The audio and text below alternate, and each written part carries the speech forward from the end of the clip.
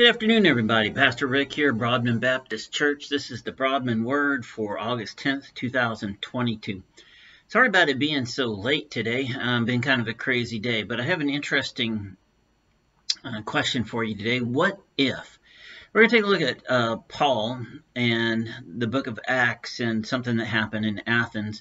And particularly, generally speaking, we're going to talk about uh, evangelism and, and uh, the process of it. So, from uh, Acts 17, starting in verse 19, Paul is in Athens and he's before the Areopagus, which is um, this large council of uh, poets and philosophers, theologians, um, all kinds of folks, sort of the thought center of the Western world, okay?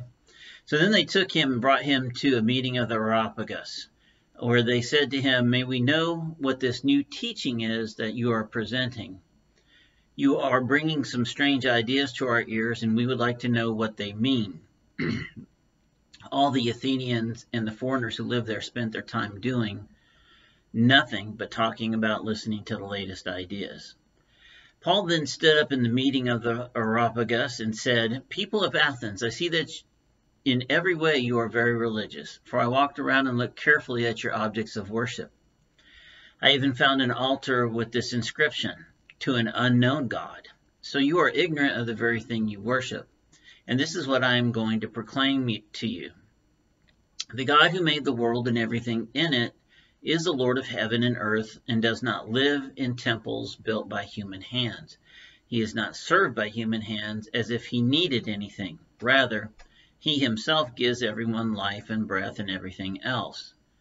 From one man he made all the nations that they should inhabit the whole earth, and he marked out their appointed times in history and the boundaries of their lands. God did this so that they would seek him and perhaps reach out for him and find him, though he is not far from any one of us. For in him we live and move and have our being. As some of your own poets have said, we are his offspring.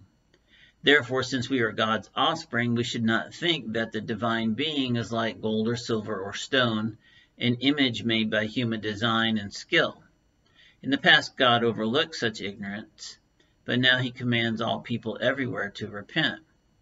For he has set a day when he will judge the world with justice by the man he has appointed. He has given proof of this to everyone by raising him from the dead. And so here we go into kind of today's um, um, specifics about evangelism.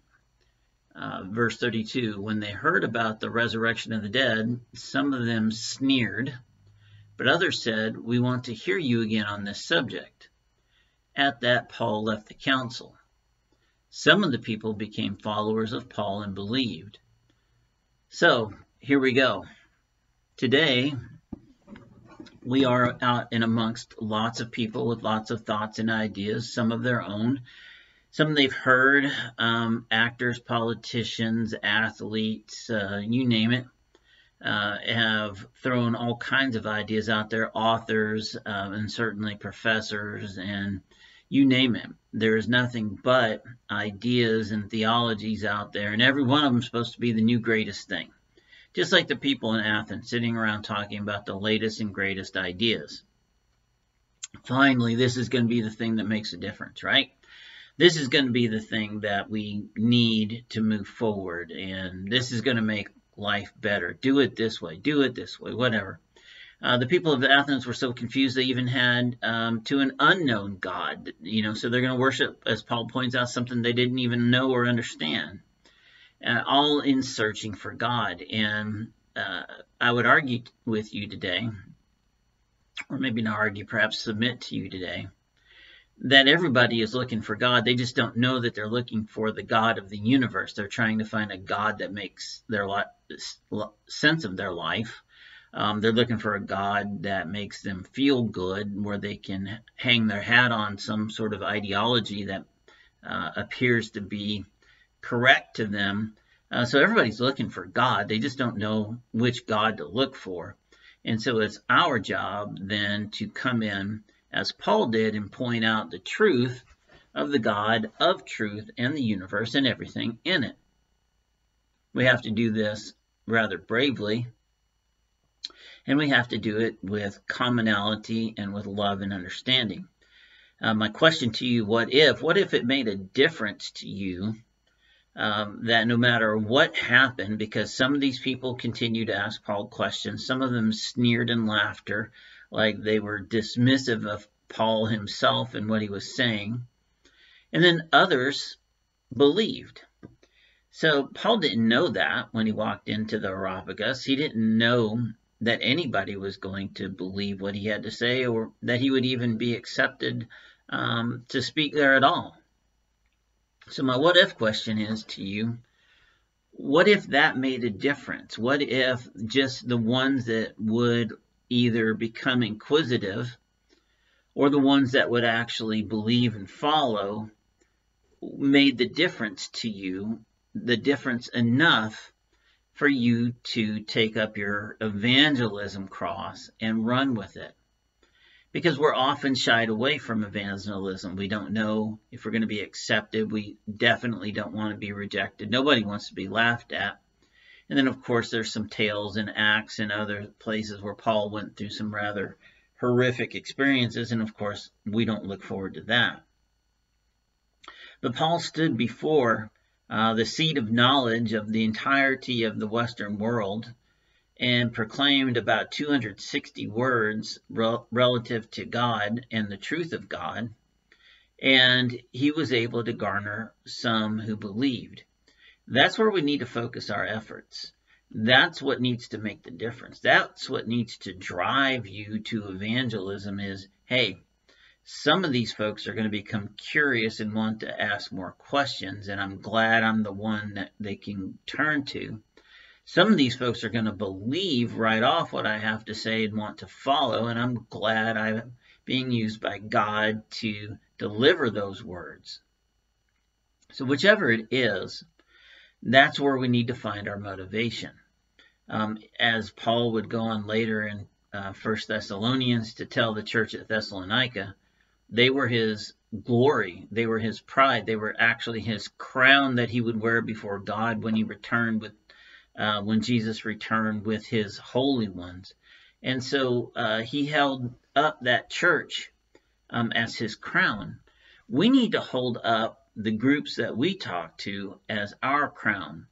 Uh, there are going to be scoffers, and there is going to be rejection, and there is going to be laughing, and but there is going to be curiosity and acceptance as well. So, my message to you today about what if, decide in your heart, decide today, what if you made that the difference? What if you camped out there, the ones who would ask questions and the ones who would believe? And move forward from that place. Use that as your starting point and move forward with the gospel, move the kingdom forward in your life and the lives of others, not based on fear or intimidation of the scoffers and the rejection and the laughing and the speculation, but based on the curiosity of those who would want to hear more and the faith filled lives of those who want to believe right away. That's where we live.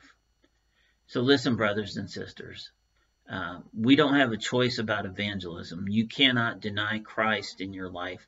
In denying to, to share the gospel, denying to present the gospel, refusing to let God use you as a tool of evangelism, as his plea, his words through you as his plea to the lost, is a denial of Christ, and it's dangerous because it shows the world that you're not really any different than they are. And if you're not any different, then why would they possibly want to be a Christian? They wouldn't. There would be no reason to. So we can't let that happen.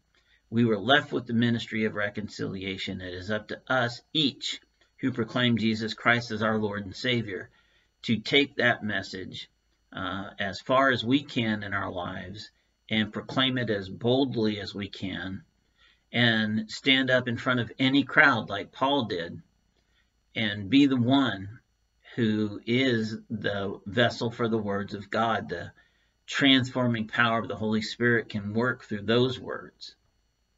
So I pray that you take that cross up and you run with it because we really need it in these times. Lots of scoffers and laughers out there, and they need to know the truth.